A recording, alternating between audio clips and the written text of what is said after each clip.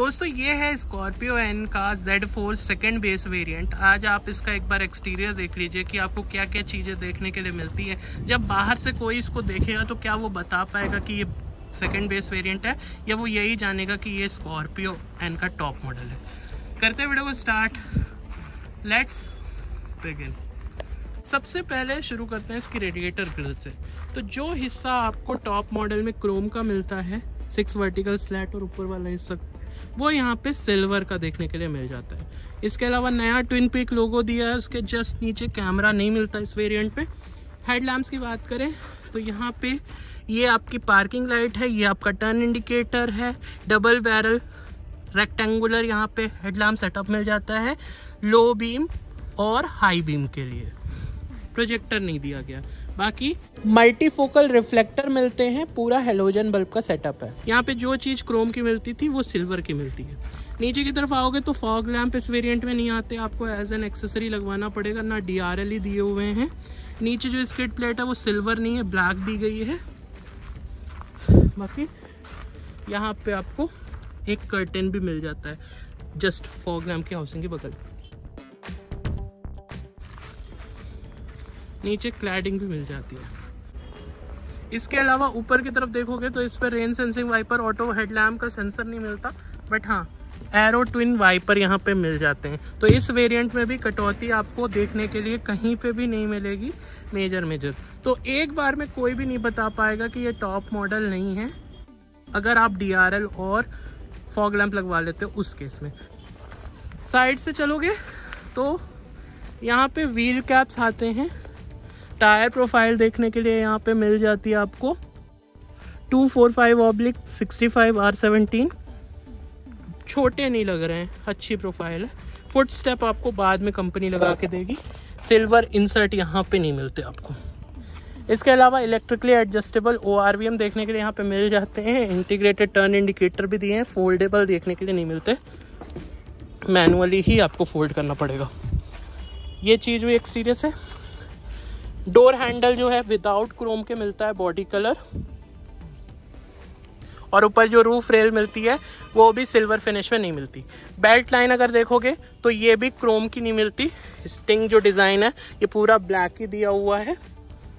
But हाँ अगर आप देखोगे तो यहाँ पे ग्रैब हैंडल भी दिया हुआ है. रिक्वेस्ट सेंसर नहीं मिलता बट पीछे भी आपको ये देखिए डिस्क ब्रेक्स दिए हुए हैं।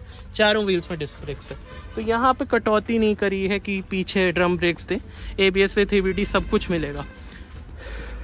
ऊपर स्पॉइलर भी दिया है शार्क फिन एंटीना भी दिया है LED high mount stop lamp भी दिया है विंड स्क्रीन में वॉशर वाइपर डिफोकर सब कुछ मिल जाता है।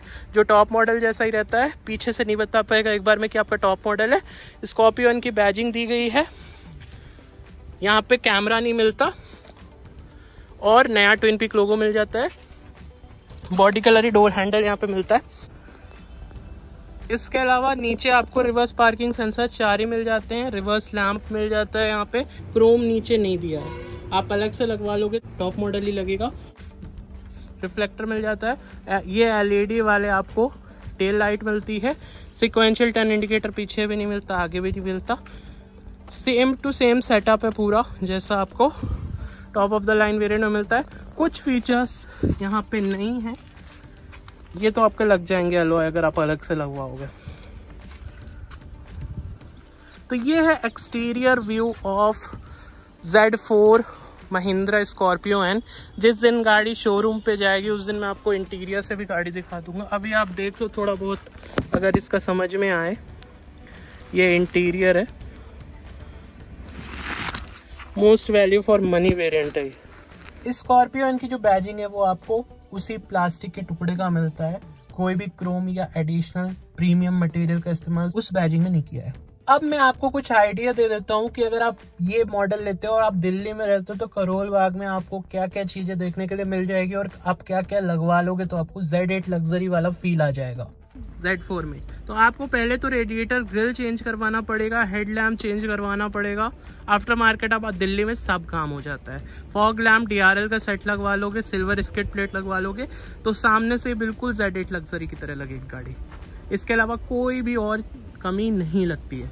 Rain sensing wiper automatic headlamp का वो चीज़ तो ढका हुआ है, उसमें भी कोई दिक्कत नहीं। साइड में चलोगे तो आपको व्हील कवर लगवाना पड़ेगा। नहीं तो आप चाहो तो इसमें अलॉय व्हील भी लगवा सकते हो, सत्रह इंच के मैनुअल वाले। फुट स्टेप तो कंपनी लगा के दे, देगी सिल्वर फिनिश में। इसके अलावा अगर आप देखोगे तो ओआरवीएम जैसे टॉप मॉडल में आते हैं, वैसे ही सेम टू सेम है। यहाँ पे आप चाहो तो डोर हैंडल में क्रोम लगवा सकते हो। और बेल्ट लाइन में भी अगर क्रोम लगवा लोगे तो ये साइड से भी टॉप मॉडल लगेगी। बहुत होगा तो रूफ रेल भी चेंज करवा देना सिल्वर फिनिश वाली करवा देना। पीछे की बात करें, सो पीछे सिर्फ़ एक कमी मिलती है, वो क्या है? वो है कैमरा इसके अलावा सारी चीज़ें सेम है हाँ। एक रिक्वेस्ट सेंसर उसमें हैंडल में नहीं मिलता और क्रोम फिनिश नहीं मिलती।